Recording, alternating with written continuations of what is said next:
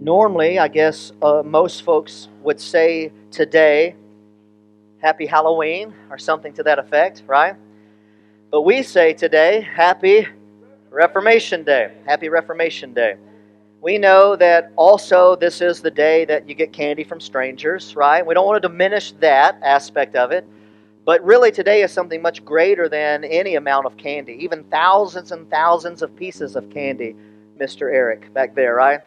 It's something much greater. Today is the day that we remember when those men and women, really culminating under those acts of Martin Luther, who was a priest at the time in Roman Catholicism. We remember back to that day, some 504 years ago, in the year 1517, when Martin Luther, by reading God's Word, and he wasn't the first who began to read, but he was the loudest. His hammer much like mythical Thor's hammer, right, rang out across the world when he struck that nail upon the door of the Wittenberg Church. Wittenberg Church, I guess, if we were being proper. But he came from others like him John Wycliffe, Jan Hus, or Hus. He became known as the Goose. Uh, other men and women, their wives and others who went before them, who began to read God's Word. And it was in 1515, 1516, as Martin Luther was teaching and he was preparing for a class at the then Catholic school that he was teaching. He began to prepare by reading Romans and Galatians. He began reading the book of Hebrews and a few Psalms thrown in for, from the Old Testament for good measure. But as he was reading, the stirring that had been in him for a couple of years at that point already, this feeling of emptiness and not being able to do enough and never knowing if he had done enough and if he could be good enough to be righteous before God, all of those things came to a head when he began to read. The just shall live by faith. Our righteousness comes from outside of ourselves. It comes from someone higher than us, someone pure and perfect, and it's none other than Jesus Christ Himself. And in 1517, all of these things were coming to a head, and, and a further push, if you will, that, that drove Martin Luther to do what he did. And, and he wasn't looking to start the Lutheran church movement or any other Protestant movement at that time. They were wanting the church to reform, the Catholic Church. They wanted to be right again. They wanted the church to be pure like the church had been pure in the days of the apostles and in those early days thereafter, in the first couple of centuries. Yes, there's always been false teaching. There have always been those who were ignorant of God's ways or who were just outright perverse and deceptive pertaining to God's ways, seeking to, to throw out and teach the traditions of men. But there was a remnant of the church, and even in the dark ages of, of the world, in the dark ages of history, moving into about the year 1000, 1100, 1200 AD, there was always a remnant. And there was a man, John Wycliffe, who in 1377 was condemned by Pope Gregory X because he dared to stand up to the Pope and using Scripture argued against the traditions of the church that had distorted God's Word already in his day. The selling of indulgences was already on the table, and it was nothing else than a quote unquote divine, there was nothing divine about it, but it, they called it a divine fundraiser in order to build St. Peter's Basilica. They were looking for money.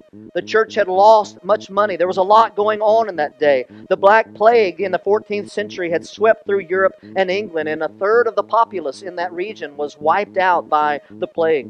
We had also seen England and France were engaged in what became known as the Hundred Years' War because it lasted, guess how long?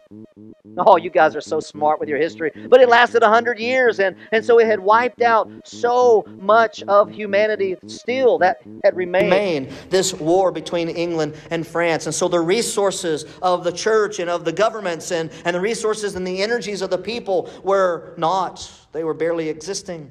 Wages had been frozen, and that led to what was known as the Peasants' Revolt in the year 1381, if memory serves. And then the Roman Catholic Church herself was growing even more and more corrupt. They began to seek power. In fact, in that day, they were more powerful and more wealthy than most kings in most countries in that day. Grabbing land. In fact, the Roman Catholic Church owned more than a third of all property that was owned during that day. They declared that the Pope was the leader of the church, but there was a problem in the mid 1300s. There were three men who all claimed to be the rightful successor of Peter. Now, mind you, Peter was no pope. Peter was no different than any of the other apostles, and he said so himself. Read in 1 Peter, you'll see that very clearly. Peter was not the first pope, but there were three men who all claimed succession. They all vied for position. One pope set up another pope with a young altar boy and tried to catch him in scandal to discredit him. The other, the second remaining pope, tried to catch the, the first pope in uh, a compromising position with a young lady in the town. These were not godly people by any stretch of the matter. This is true history, my friends. But all of this was going on. And then, when finally Pope Gregory XI comes to take power of Rome, he sought after this one who, who dared to stand up and say that everyone deserved to read Scripture in their own language. And they called for Wycliffe to be brought before the Catholic Council. And Wycliffe stood and using Scripture and nearly solely Scripture, he began to preach out against the heresies, the false teachings, the, the errant ways of Catholicism, begging the Pope, begging Gregory to restore the church to a biblical model of a church. And for all of that, they condemned him. They expelled him, ordered that his writings be burned. They sought his life several times in secret. They humiliated him publicly. Finally, as an outcast, he died um, of a stroke, it would seem. And then, after his death, he had a faithful group of people who had been following the teachings of the Scripture. And it wasn't that he was teaching anything new, it wasn't that he had some new revelation from God, as many claim to have today. What he was doing was reading the Scripture. And he had a group of faithful men and women, even. Their families were, were listening to Scripture. And they were learning the Word of God. And they began to translate and help John Wycliffe translate the Scriptures from the Latin, which only the wealthy or the Roman Catholic priesthood could read. They wanted to keep the people, the populace, in the dark. That's how they were able to get away. And we're not here to bash Catholics. Please don't hear that. But we are standing firmly against Catholicism today. That's what the Reformation is all about. The Catholic Church had introduced lie upon lie, tradition of man upon tradition of man, in order to draw people away from the truths of Scripture. They didn't want people to read God's Word for themselves. They had set themselves up to be the one and only interpreter of truth. Wycliffe wouldn't have it. He said if it was up to him that before he died, he would give his life, making sure that even a plowboy knew Scripture better than the Pope or the priesthood. And he set out doing it.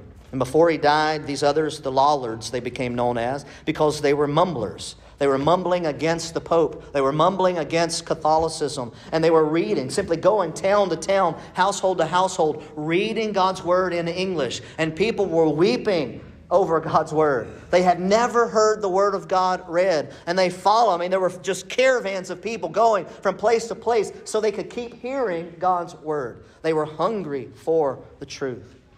Well, Wycliffe died a lonely man in 1384 of an apparent stroke. He had had a series of strokes leading up to this time, we're told. But 44 years after his death, 44 years after his passing, in the year 1428, the Roman Catholic Church, under then the leadership of the ungodly Martin V, out of pure hatred and anger for what Wycliffe had done in translating Scripture into the common tongue, he had his body dug up from the cemetery. He had the bones and the remains burned. And then, in an unholy fashion, he demanded that the ashes of John Wycliffe be spread out into the river Swift. But with God's providential humor, I call it, it came back to backfire because as the Pope did this, as the church stood against the common person having and hearing the Word of God in their tongue, the Swift River carried very quickly the Word of God.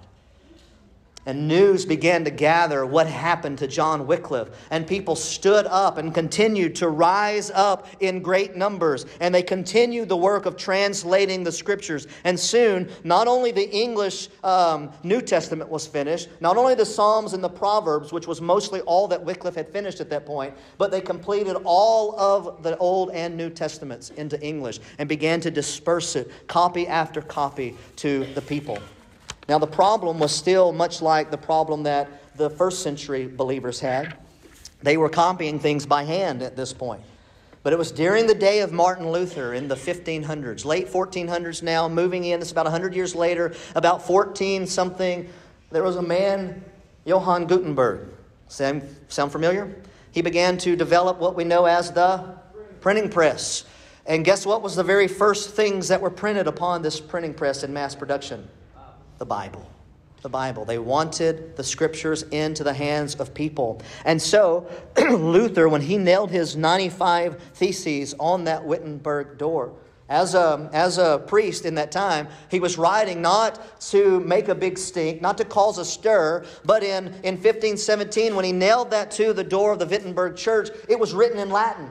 It was meant for the priests. It was meant for them to see and read and began to ascertain what these points of, of contention were against Rome, against the Pope, against popery, against Catholicism. He wanted the leadership to deal with God's word in light of these issues. But other people saw this 95 Theses. And a few that could read Latin began to read it and began to translate it as well into English. And so now that 95 Theses, these 95 points of contention against Catholicism, began to spread like wildfire also. And then the printing press, again, was, had, had come up now. And so this was also mass produced on that printing press and spread out again like a holy wildfire. People wanted the Word of God. So, dear friends, listen. We are Protestants not simply because we're angry, not because we're contentious, right? We're Protestants, and I know we might not all like that word, but we are of the protest that wanted the church to get back to the Word of God. And, folks, listen, the Reformation is not finished today. We are still seeking to keep the church pure and holy. Amen? It will never be perfect until the Lord Jesus Christ calls us heavenward or he returns for us, right? And then in that day we will be known as, uh, we'll know as he knows us, right? We'll know as we are known. Everything will be perfect and pure. The church, the bride of Christ, will be made ready for the great feast the marriage supper of the Lamb. We'll stand there before the judgment seat of Christ in preparation to be judged based on what we've done with all of the gifts and with God's Word. That glorious day is coming. And so until then, we continue to fight and contend for a pure bride we continue to cast off the shackles of popery or, or, or man made religion, even if it's in Protestantism or, or in some denomination. We, we cast those restraints off. We want nothing man made because, listen, the only man made thing in heaven will be the scars that man placed on the body of Jesus Christ. The scars that he still carried in his resurrected body. Amen? That's the only things that will remain of man made uh, origin. And so there are a few things I would like for us to, to quickly work through here today. A few truths. Originally, it was three truths of the Reformation, but I quietly took down that image, that title, and just replaced it with truths, um, just generically, because we're going to try to, to, to look at five truths today. If we don't finish today, we'll finish it next Sunday, Lord willing. But these five things are five truths that we continue to proclaim today in the face not just of Romanism, but in the face of any errant teaching. And so let me just give these to you. And they're, they're in your note sheet uh, handout if you've got one of those.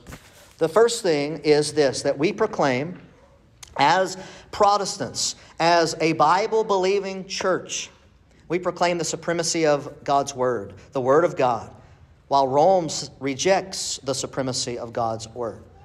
We maintain that God's Word is supreme, even at the expense of being called bibliolaters, idolizing the Scripture. We hold God's Word high because God Himself has placed His Word high. Turn to Psalm 138 and look at verse 2. Psalm 138, verse 2. This is why we as Protestants proclaim that God's Word is worthy of our attention, of our focus, and even, even our love and affection. Because, as we read, Scripture says, I will bow down toward your holy temple and give thanks to your name for your loving kindness and your truth. I'm thanking you for your loving kindness and your truth, he says. And then he continues, For you have magnified your word according to all your name. And some translations even, even this is a little, a little uh, contentious area here, but some even say that this means his word has been elevated above his very name. But it's at least as good. It's at least as worthy. It's at least as magnified as the name of God itself. God's word is God's decree, his desire, his intention, his spokenness, his, his going forth. It is equal of magnitude, according to Psalm 138, verse 2. And so let people call us idolaters of the Bible. We're only agreeing with Psalm 138, verse 2. Although we know rightly that we adore the Scripture because the Scripture is the Word of God. We adore the Scripture because it points us to the God of the Word. 2 Timothy 3 16 and 17. At least 16 here. All scripture is inspired by God. It's theopneustos, it's God breathed. It's the very breath of God putting out, put out rather, into word, into the page or onto the page. All scripture is inspired by God and profitable for teaching, for reproof, for correction, for training in righteousness. And if you kept reading and looked at the next verse, it would tell you, so that there's a reason that God breathed out His word, that He inspired this word. There's a reason it's profitable for teaching and reproof and correction and training in righteousness. And it's this so that the man of God, and man generically, mankind, humanity, so that the man of God may be adequate, equipped for every good work. Now, when we hear adequate, we think, eh, it's good enough, right? That's how we understand adequate. Adequate, if you remember, is the Greek word artios. It means thoroughly prepared or thoroughly equipped. So, adequate, equipped for every good work means we are perfectly equipped, perfectly suited for every good work. So, what makes us that way? God's word. And so we proclaim the supremacy of God's word. But there are those who reject the supremacy of God's word, and Rome is one such errant institution that does so. She's not alone in doing that, but the Roman church has been elevating her traditions on equal footing with the Word of God for at least 1,500 years. Calling it what they say, quote, sacred tradition and sacred scripture, making a single sacred deposit of the Word of God, end quote. They continue in the Catechism to teach that the Word of God is only as good as it is rightly interpreted by the magistrate by the Pope or those under the Pope that he gives the rule and authority to. It's definitely not us. Those of us who would proclaim the Word of God alone have been anathematized over 100 times in Romans teachings. In the Roman Catechism, there's over 100 places where those of us who believe in Scripture and salvation by grace alone, through faith alone, in Christ alone, we've been anathematized, which is a fancy word that means we've been condemned to hell by Rome, by Roman Catholicism, and by the Pope, and every Pope since then. We've been condemned to hell for believing in such things. That's right out of their own authoritative tradition. But secondly, we proclaim the undeniable sufficiency of God's Son, Jesus the Christ. The undeniable sufficiency, not just of the Word, and we hold the Word to be supreme, it's our one rule of authority I don't hold the authority, God's word holds the authority. Amen? I'm an under shepherd. I'm not equal to Jesus. I'm not his representative on earth. And let me just say there's no man who is his direct representative on earth. No pope. That comes from that ideal of the pope being the mouthpiece of God comes from paganism. It comes from paganism. It comes from Babylonianism that elevates the Pope as the one and only speaker forth for the divine. And, folks, that is exactly what the reformers have fought against. That's exactly what the New Testament contends against and has from its giving. But we proclaim the undeniable sufficiency of Jesus Christ, the Son of God, God's Son, the Christ. Rome rejects the sufficiency of the Son. While we know, according to Romans chapter, or excuse me, Hebrews chapter 7, verses 25 through 27, where the Word of God says this Therefore, He is able also to save forever those who draw near to God through Him. This is Christ Jesus, since He always lives to make intercession for them. So, who is interceding for us? Jesus. Is He doing it just at a certain time of the day? He always intercedes for us. He always lives to make intercession for them. For it was fitting for us to have such a high priest, holy, innocent, undefiled, separated from sinners, and exalted above the heavens, who does not need daily, uh, like those high priests, to offer up sacrifices, first for his own sins and then for the sins of the people, because this he did once for all when he offered up himself. The sacrifice of Jesus upon the cross of Calvary was a once and for final, once and for all sacrifice for sin. No more sacrifices needed, beloved. Hebrews 10:10 10, 10 goes on to explain further. By this will we have been sanctified through the offering of the body of Jesus once for all. The elements of the Lord's Supper do not transubstantiate into the actual body and blood of Jesus. Whereas Rome would teach that they literally change into the body and the blood of Jesus, that means that they are re sacrificing Jesus every single day all over the world, hundreds and hundreds of times per day. And, dear friends, that is nothing shy of just pure blasphemy. And I'm not trying to be ugly, but it is, it is heretical to take God's clear teaching and then try to muddy the waters and say that, that this supper element, wine and bread, actually re sacrificed Jesus over and over again. Folks, that's anti biblical. Hebrews 10 14 continues. Excuse me. For by one offering, he, meaning Christ, was perfected for all time. He has perfected for all time those who are sanctified. So, those that Jesus saves, he sanctifies us once and for all. Yes, we're being made more and more like Jesus, but there's nothing in the elements that make us more and more like Jesus. He's not being re sacrificed. He was sacrificed once. And by that one offering on the cross of Calvary, He has perfected those who are drawn to Him in saving faith, those who are being sanctified. It goes on to say in verse 18 Now, where there is forgiveness of these things, there is no longer any offering for sin. The Old Testament sacrifices for sin do not continue through the magisterium of Roman Catholicism. There is no need for sacrifice offerings for sin any longer, according to Hebrews 10 18. Amen? Amen? Folks, we're not trying to be ugly or divisive. We're simply continuing the reform, the reformation of the church as she had gotten off course around the 300s when under Constantine,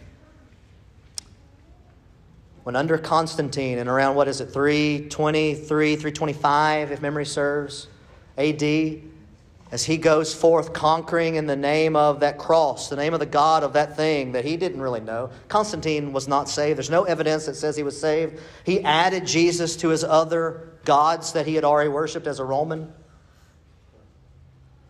And in some instances, he was considered a God himself. He was no Christian by the biblical understanding.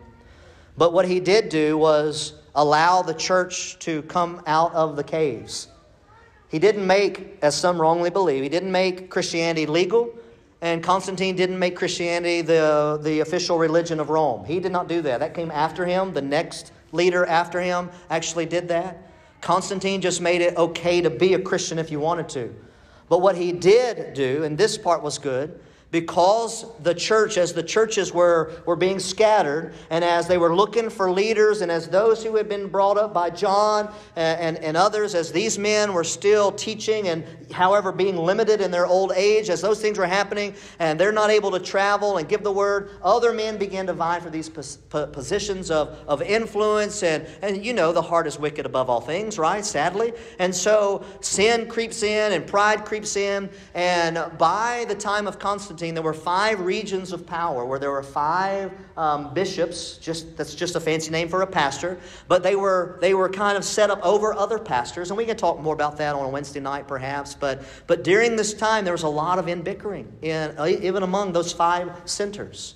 Antioch and Jerusalem still and, and, and, and elsewhere. And so, so Constantine allowed them all to come together and basically square off and come to a consensus about who's right and it's those who line up with the Word of God. That was the consensus. They want to make sure that only the right books were going to be part of the, the, the, canon of Scripture going forward. They didn't declare what the right books were, they just reaffirmed what had been handed down already and made sure some of the false writings were kept out of Scripture because some were already trying to bring in some of these extra biblical things. And so, so that is a good thing that happened during this time.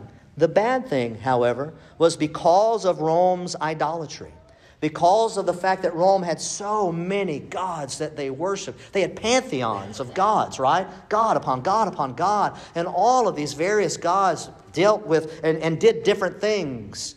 What the Roman church, as it began to be developed during that era, they began to take all those various gods and just demote them into a Christian ideal of sainthood. Sainthood. And so we have St. Peter, and we have St. Mary, and St. this person and that person. But all that was was a, was a uh, Romanizing, a, a Catholicizing of Babylonian paganism and Roman paganism. That's how these things began to creep in. And so there was much worldliness that came in. And because much of Rome centered around the burning of incense and the, and the bowing and kissing of idols, Many in that Roman church, as it was beginning to gain a foothold uh, under Constantine, they brought in the acceptance, the allowance. If you want to kiss the feet of an idol, by no means will we discredit that sign of affection. And it begins to get brought into the religious ceremonies of the quote unquote church during this time.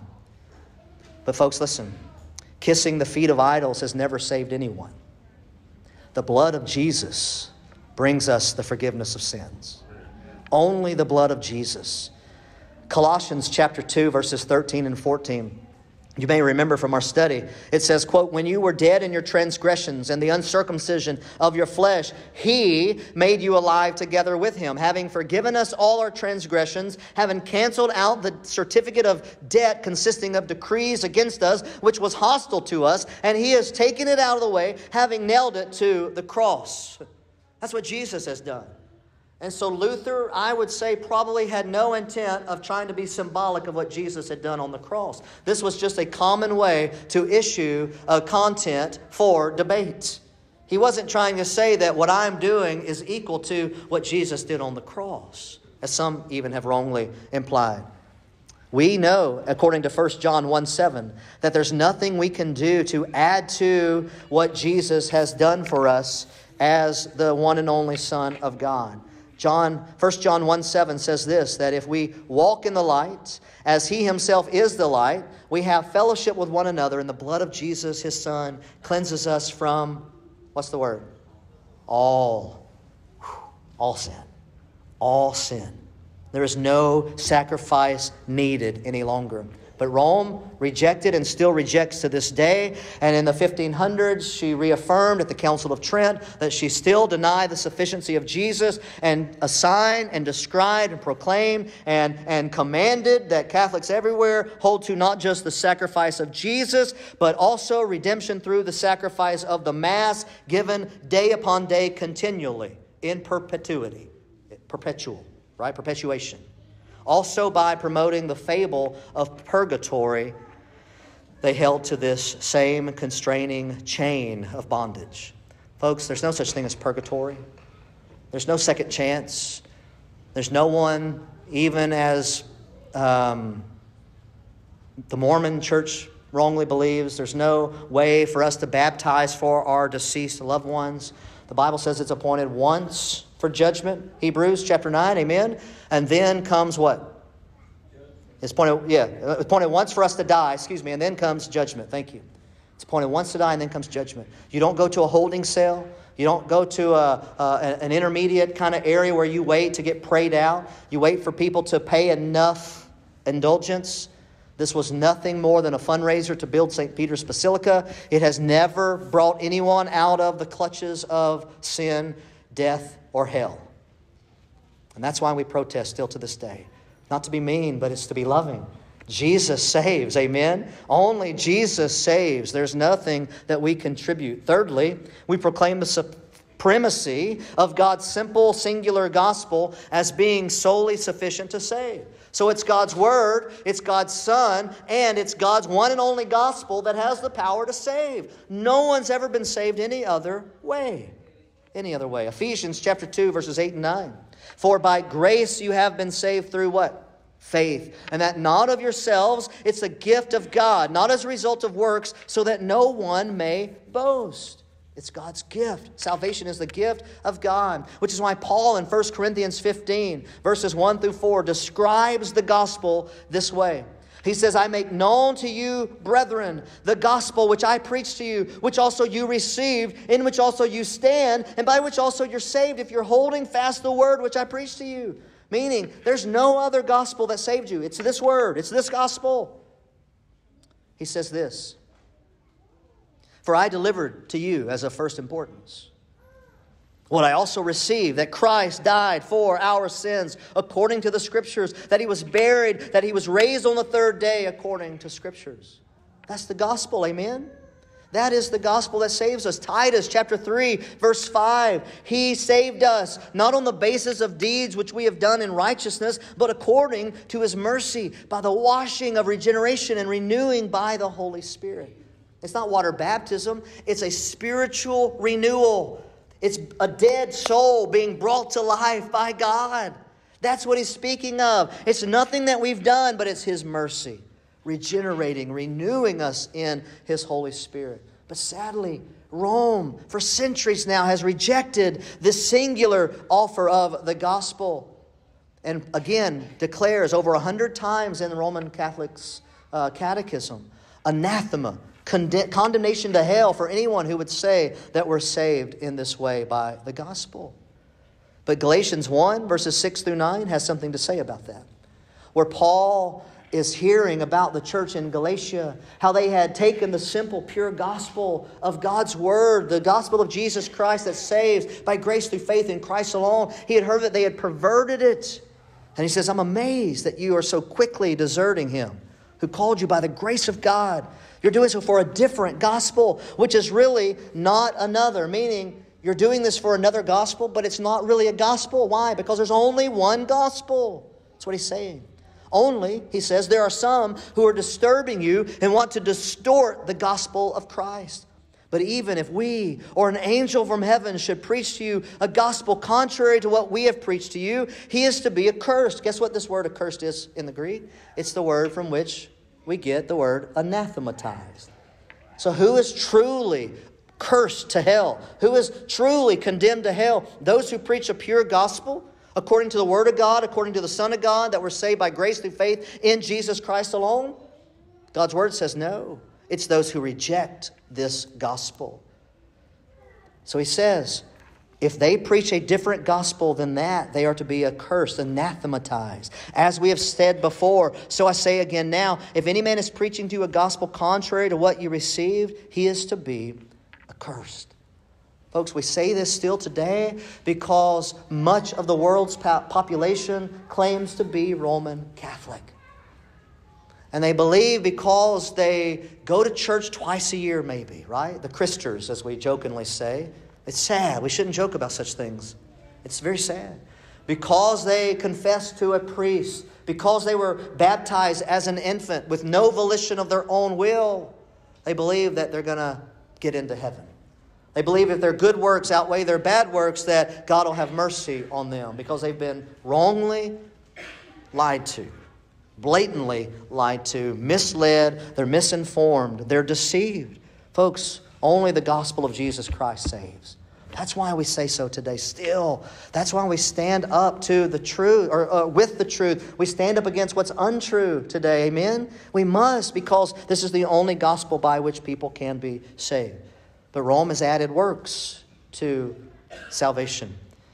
The gospel, yes, Rome will teach, yes, we believe the gospel, but not the gospel alone. We believe the gospel plus the sacraments. We believe the gospel plus obeying the commandments. We believe the gospel plus doing Eucharist, which they believe, again, is literally the blood and body of Christ. Folks, you know the Bible condemns that as cannibalism?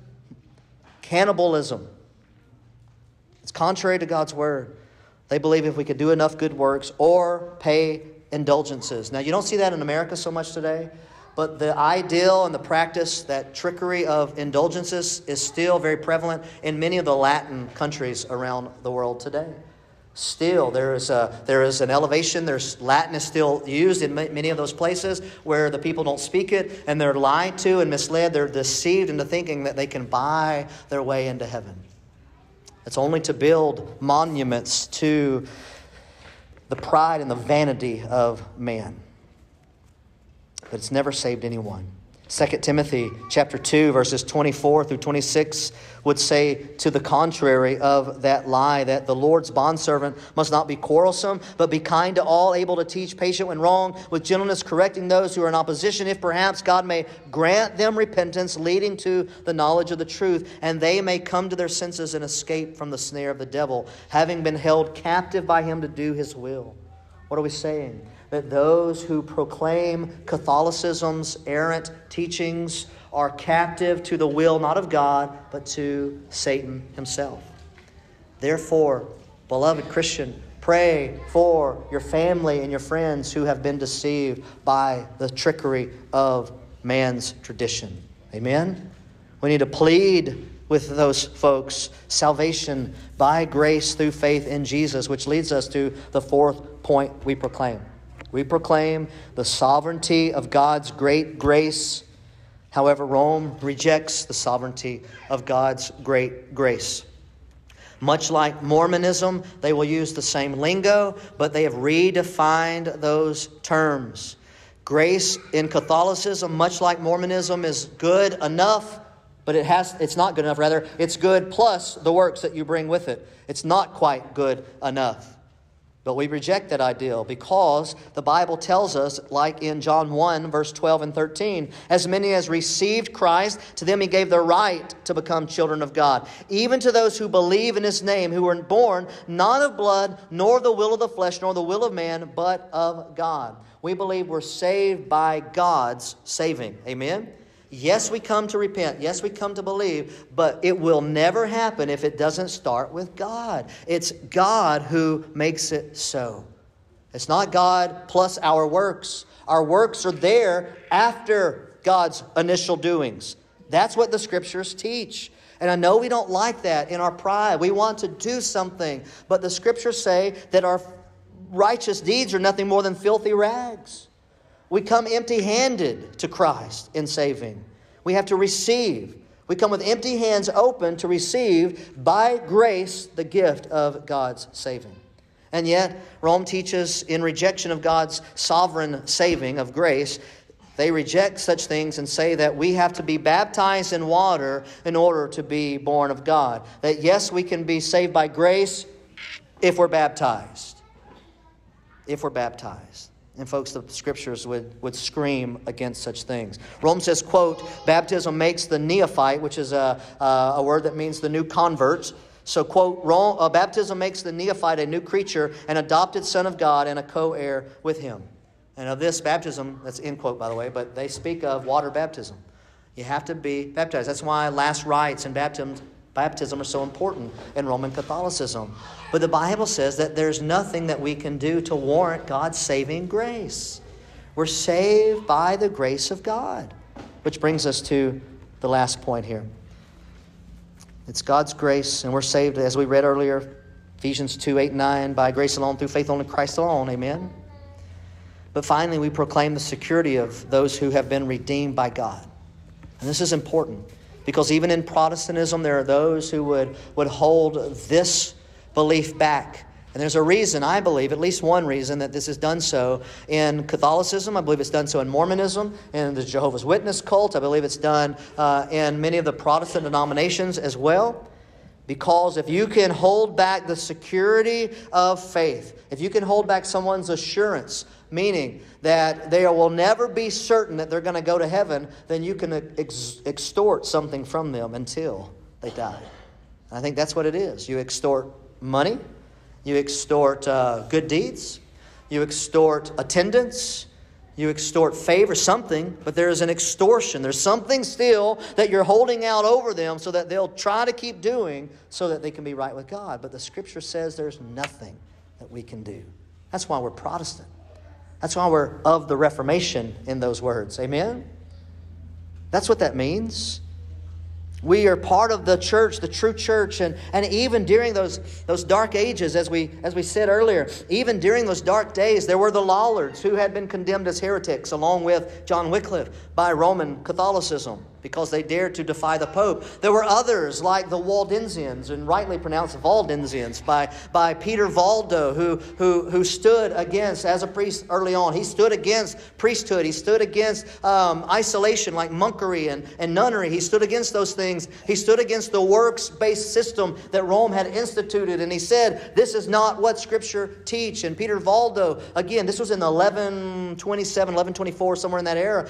Uh, Peter Valdo, even before Wycliffe was standing purely on God's word, he was condemned a heretic by Roman Catholicism. And all the Waldensians who have followed, condemned as heretics. They were called cultish. But they were holding to the truth of Scripture. And so we come from a long line, even before 1517, even before the official start of the Reformation, some 504 years ago. Amen? We come from a long line that have continued staying in the Word of God since the time of the first apostles. We come from a long line, and so we believe, just like the New Testament teaches, that we can be secure in our faith. And here before long, we're going to start a new series of study looking at First John. And when we're done, we're going to go to Second John. And after that, we're going to go, guess where? Third John, that's right. We're going to hit them in order, but First John was written, and it's beautifully written, and I think it's very timely for us to give us a firm footing of why we can know that we are redeemed. There are at least 11 tests, if you will, that the scriptures identify to help you know if you're walking rightly with God. And if you happen to come upon one of those tests in our study and you don't line up with it, guess what? The word is, is sure, amen? That means that you and I must what? Move over here to where the word says, right? We have to get right with the, God's word, but but we can know that we are redeemed and secure. 1 Peter chapter 1 verses 3 through 5. Turn there with me. 1 Peter chapter 1 verses 3 through 5. We read this. Blessed be the God and Father of our Lord Jesus Christ, who according to his great mercy, thank God for that mercy, amen who according to his great mercy has caused us to be born again to a living hope through the resurrection of Jesus Christ from the dead, to obtain an inheritance which is imperishable and undefiled and will not fade away, reserved in heaven for you who are protected by the power of God through faith for a salvation ready to be revealed in the last time. Does that mean, oh, well, you're not saved yet? The salvation's coming. No, you're held securely. Your salvation, from the day it began, became a reality, continues to be a saving reality until you're finally, ultimately glorified. That's the point that Peter's making. Imperishable, undefiled, secured for you. Secured for you. But you know what that tells me? That says no matter what Congress does with the inheritance tax going forward, our inheritance, spiritually speaking, will never be taken away. Not by a Pelosi, a Biden, or anybody. It'll never be taken away. We can pass on this to our children. Amen? We can pass on our faith. We may lose all our property. And if the Lord tarries in coming from us, it will more than likely happen, Christian. It will more than likely happen. Christians are already losing their jobs over, over, over convictions, right? And, and yeah, I know this is about uh, uh, just about being immunized, immunized. I can't say that, excuse me. Right? You can laugh, it's okay. Whether or not to take the jab, but it's not just one, it's like three now. And I read something this weekend, there's five they're talking about. I mean, it's going to be an ever going process. But, but again, we could lose everything, but this will never be taken away from us. Never, never, never, never. This is our spiritual inheritance. This is what the apostles lived and died for. This is what those who came after them lived and died for. This is what, what um, Wycliffe, this is what uh, Peter Valdo, this is what Tyndale, this is what man and woman, year after year after year, this is what the reformers continue to fight for, that we would have this secure faith. And we know that the Lord keeps those who he saves. In fact, he promises to do so. Now, if anybody's word is believable, I think it's Jesus' word. Amen? Amen? Turn to John chapter 6. Look at verses 37 through 39. And this is not very clear, so really pay attention here. And I was being sarcastic. This is extremely clear. Notice, quote, Jesus says, All that the Father gives me will what? Come to me. And the one who comes to me I will certainly not cast out. For I have come down from heaven not to do my own will, but the will of him who sent me. Meaning, Jesus is saying here, meaning that I am doing the will of my Father. And he goes on, This is the will of him who sent me, that all that he has given me I lose, what's the word? Nothing. I lose nothing, but raise it up on the last day. Everyone who comes to Jesus by grace through faith in Jesus alone will be saved. And you'll not just be saved in that moment, you'll be saved forever. If you're truly saved, amen? If you're truly saved, that's what God's word says. It is a divine gift of eternal life. Now, now listen. For God so loved the world that he gave his only begotten Son, that whosoever should believe in him should not perish, but have eternal life or everlasting life. How long is everlasting? I mean, the word itself carries the implication, very obviously, that you are saved how long? Forever, everlasting. So there's no pope, there's no law, there's no government, there's no church council that can tell you otherwise, Christian. Stand on God and His Word. John 10 28, I give them eternal life, and they will never perish, and no one will snatch them out of my hand. Now, now just so we're clear, I give them eternal life. How long is eternal? Forever. Now, the word never used to mean what? The same thing it means today. And what does it mean? It's not going to happen. So he's saying positively, you've got eternal life. He's saying negatively, you can't lose it. So again, what's the answer? You have eternal life. Believe. Romans 11 29. The gifts and the calling of God are irrevocable. Salvation is a gift of God. It is, therefore, irrevocable. He will never take away salvation. But Romans rejected that, saying that you can die in a, in a, in a, in a mortal sin they divide sins into, into mortal sins and is it venial sins, I believe. And, and, and, and one's okay, but the other, if you die in that sin, then you're automatically going to purgatory. And folks, that's nonsense. I'm not trying to be ugly. I'm just trying to be honest. It's nonsense. It's heresy. It's damnable lies. It's damnable. You are saved by grace through faith in Jesus Christ. That's what the proclaimers fought again for, and that's why we still proclaim the same things today. Amen? So, why do we continue to celebrate Halloween? Oh, I mean, Reformation Day. Why don't we continue to celebrate Reformation Day? Because it's important. The truths are important. They were a rediscovery and a reestablishment of the revealed truth according to scriptures from the very get go. Not new truths, just a reacquaintance with the old truths of salvation. Amen? So let's continue to stand on God's word, holding it high, holding it in a place of honor. It, we should know it better than any song lyric, even from the 80s, friends.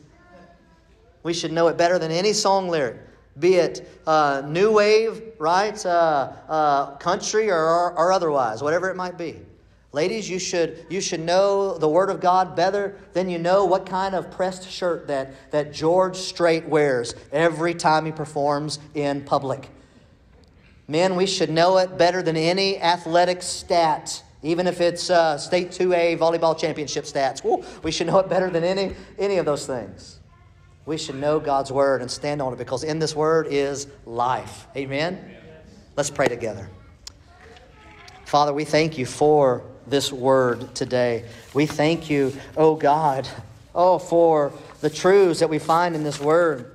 As Alan said, even in his prayer, oh, this word is precious, and herein we find the way to salvation through Jesus Christ by grace through faith. And so, Father, I pray today that if there be anybody here today with us physically, or if by chance there's anyone watching this live stream who is coming under the convicting power of your Holy Spirit as you draw them to yourself, God, I pray that you would grant that they would realize who they are apart from you, that they would see that they are a sinner in need of your heavenly mercy, that they would cry out, Oh God, have mercy on me, the sinner. Save me, O God, from my sins.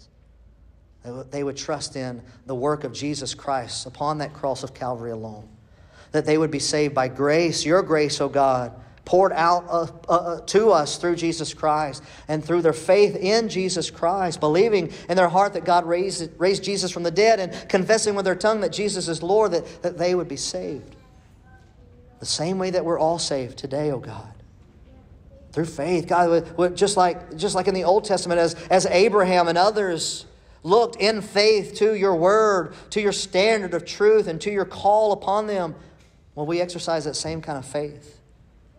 And God, shouldn't it be more so as we stand today with so many verifiable truths and facts to look back upon as your word has been preserved for us even through fierce opposition?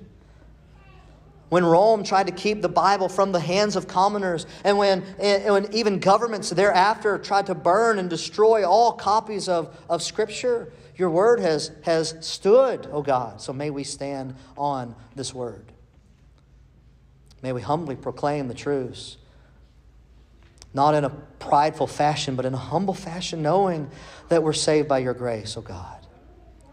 And so, Father, I know that we have friends and loved ones, family members who, who have been deceived, and, and, and many in Catholicism, but even others in other works based religious movements like Mormonism or Jehovah's Witnesses or, or, or even in Islam, oh God thinking that we have to do something in order to, to save ourselves or to maintain God. May they be reaffirmed and reassured and use us, oh God, as, as, as mouthpieces, as lights that shine in the darkness, God, even in the year 2021 and beyond, should you tarry.